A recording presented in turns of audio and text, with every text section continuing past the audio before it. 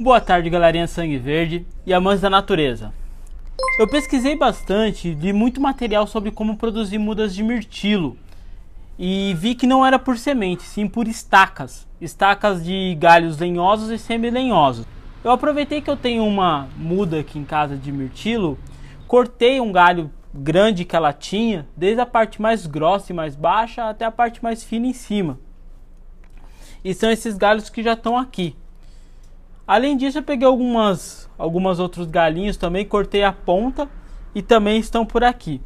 E o que, que eu fiz? Depois que eu cortei todos esses galhos, eu deixei eles juntos aqui por 10 minutinhos.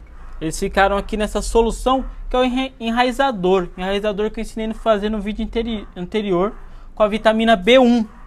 Existem outros tipos de enraizador que eu também já ensinei aqui. Só que como o, o último que eu fiz é o de vitamina B1 e eu tenho bastante cápsula de vitamina B1, eu aproveitei para utilizá-lo aqui para tentar enraizar essas estacas.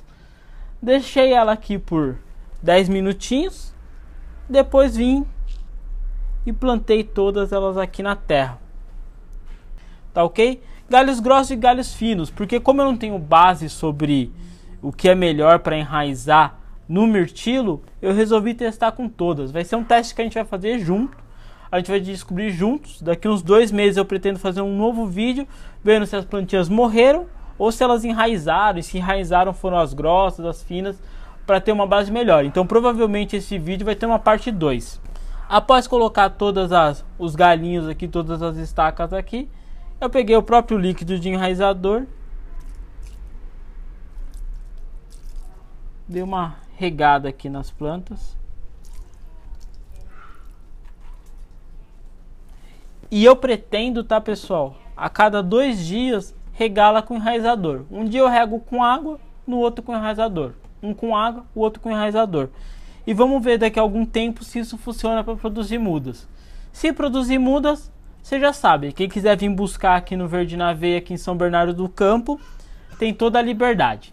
É isso, pessoal. Vídeo rápido, dinâmico e no direto ao ponto que eu sei que é o que vocês gostam. No final desse vídeo agora, vai aparecer um link para o vídeo onde eu ensino a fazer enraizador. Se você tiver interesse, são dois tipos de enraizador. Um vai ser esse de vitamina B1, o outro vai ser o de lentilha, que são mais fáceis de serem encontrados. Queria agradecer, desejar um ótimo dia para você e para sua família. Que Deus abençoe muito vocês. Um abração, até mais e tchau, tchau.